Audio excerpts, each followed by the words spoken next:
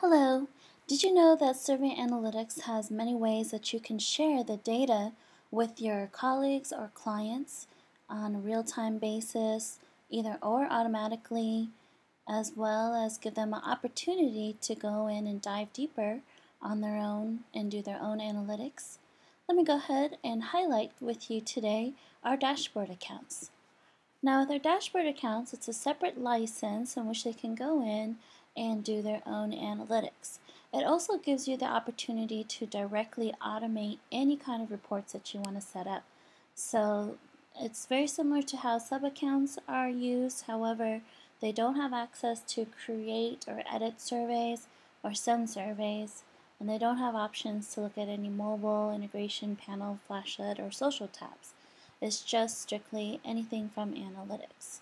And from within side here, you'll also be able to go in and customize what kind of reports that you would like to share with them.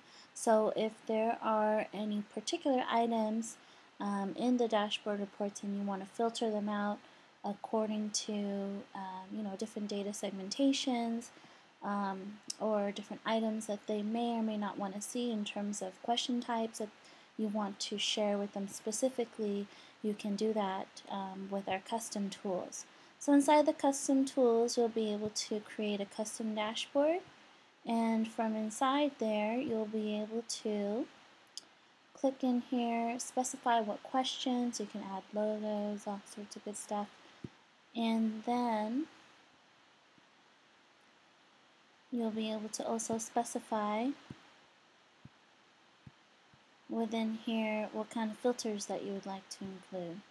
So by adding um, advanced analysis and applying any data segmentations that you've built, you can then have those available with the custom dashboard. So you can see these are my two custom dashboards.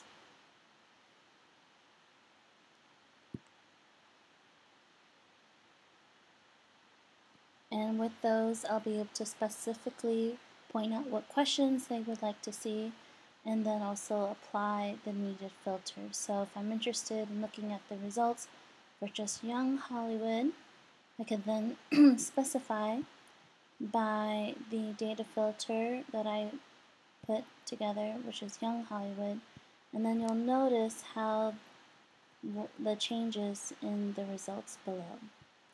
And then you can also apply older Hollywood and see the difference in changes below as well.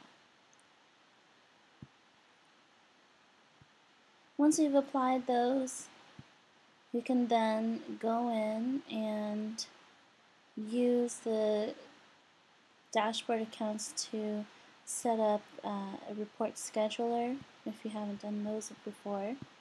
You can go in and specify who you'd like to send it to and a dashboard will be part of the list in which you can specify who you want to send it to. And so these are multiple users and your dashboard emails will be available here.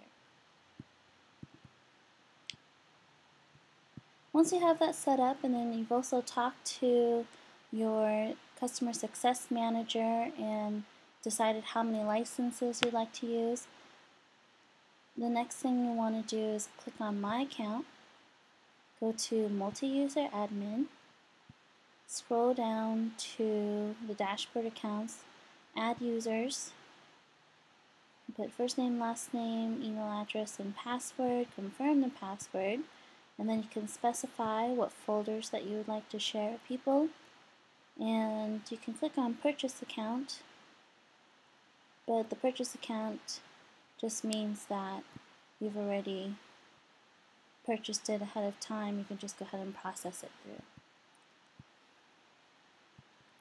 And with mine, you can see I have esther.rmah3 at surveyanalytics.com. Click on that. And you can also go in, edit the email address. So if you want to change and share this with another person later down the road, you can. You can reset the password, you can email it, and you also have the option to change the folder access here or under surveys. And you also can log in as the user. So let's go ahead and take a look at what the user will see in their dashboard account.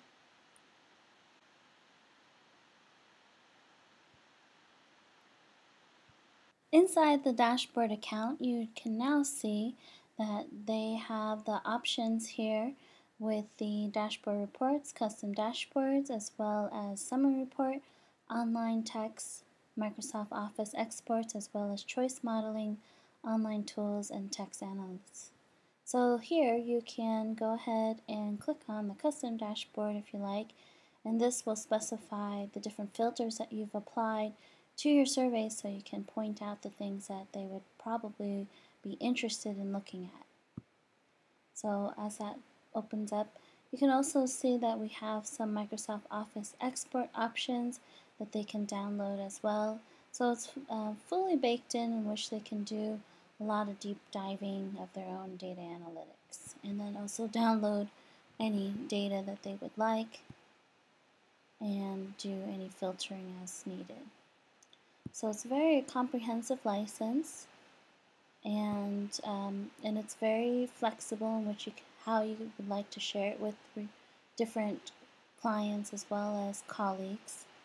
And that's pretty much the gist of the custom dashboards. So if you have any questions, feel free to reach out to your customer support manager or your customer success manager and they'll be happy to help you get some pricing as well as some use cases for you to consider.